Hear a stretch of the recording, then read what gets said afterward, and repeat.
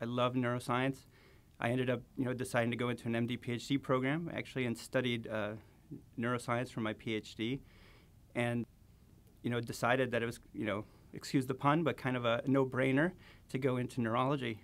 In clinic, for the most part, I'll see patients with epilepsy. So I'm really passionate about the people.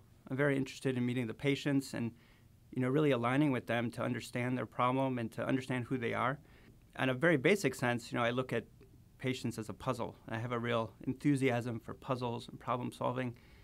And, you know, I love that I can use my passion for the, the puzzle to help patients sort of solve their, their personal puzzle. I'm especially interested in my research uh, understanding how the sleep state during which a seizure occurs or the time of day during which a seizure occurs influences the effects of seizures on breathing, cardiac activity. Well, really, I love everything about my job. You know, it's a, uh, it's just a really fantastic opportunity that I have. I get to work with you know very interesting patients. I get to work with very interesting people. They tend to be you know around here in the Midwest. Everybody tends to be really nice, and friendly, and helpful.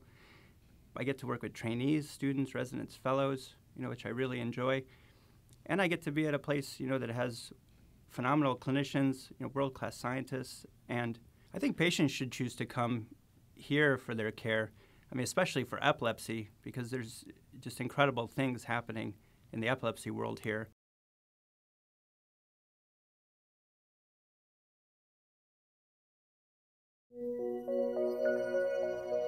University of Iowa Healthcare. Changing medicine, changing lives.